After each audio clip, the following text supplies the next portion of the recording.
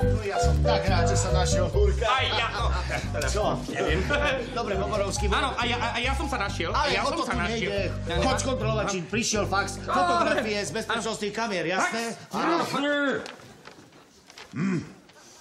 Čo to? To sa nie!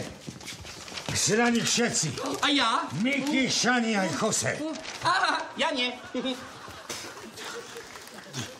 No to sa nemyslíte vážne toto, chlapci. Tak vy dostanete zadarmo lístky do cirkusu a vy im ukradnete zvieratá? No To si hovoríte, policajti? Čo? Vy máte pomáhať, vy máte chrániť. To ste takí sprostí, že si myslíte, že vám to prejde?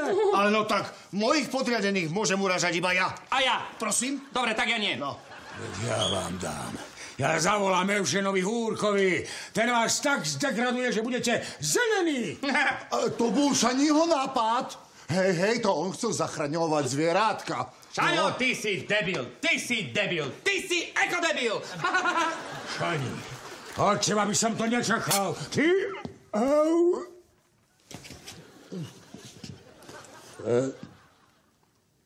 Toto si nemal.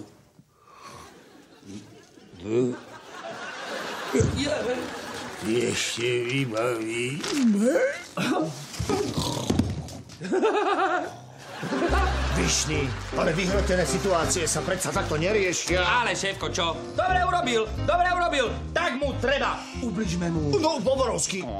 Pán kapitán, ja som nechcel. No, ja viem, ale tento raz sa to hodilo, Vyšný. Je to tak, zoberte ho a odneste ho do toho jeho vrtulníku, nech sa tam zobudí. Áno, je vám to jasné?